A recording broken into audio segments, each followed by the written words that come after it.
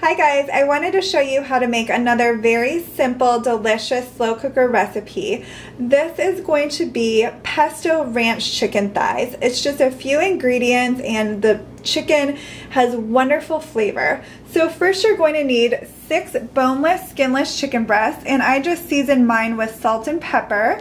And then you'll need a half of a cup of chicken broth and then you can either use a packet of ranch seasoning or you can make your own and I'll put my recipe below and I usually use about three tablespoons of the homemade ranch seasoning or you can use one packet and then you'll need about one cup of pesto and I will put the link to my pesto recipe below if you would like to make that. You'll just want to spray your slow cooker really well with cooking spray or olive oil so that nothing will stick and then you'll just lay your chicken thighs in the bottom of your slow cooker.